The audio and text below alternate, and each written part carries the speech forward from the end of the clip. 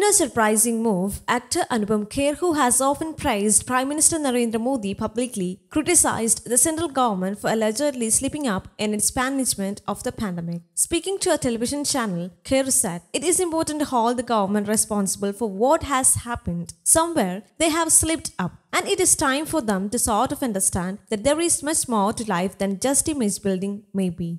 We should, as people, get angry, he added. When asked about the image of COVID hit families begging for hospital beds, corpses floating in holy rivers, and struggling patients, Kher responded, I think only an inhuman person will not get affected by the bodies floating. But for another political party to use it for their gain is also not right, he said.